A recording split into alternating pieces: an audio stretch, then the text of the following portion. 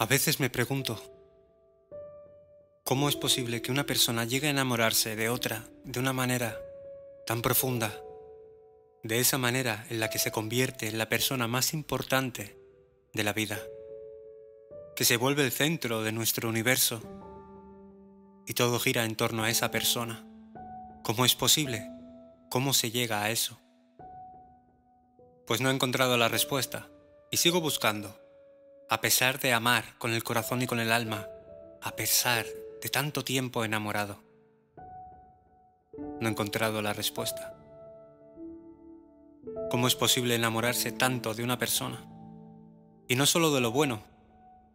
Es muy fácil enamorarte de la belleza, de una mirada bonita, de una preciosa voz, enamorarte de cuando te tratan bien, de esos momentos cálidos, de un beso y enamorarse de los defectos, de sus bromas pesadas, de sus celos, de esas ideas locas que no llevan a nada, de sus momentos tristes, de sus momentos de euforia, enamorarse de sus defectos. Eso no es tan fácil. Y es ahí donde el amor de verdad brilla, e ilumina todo, y esas sombras de la persona se difuminan.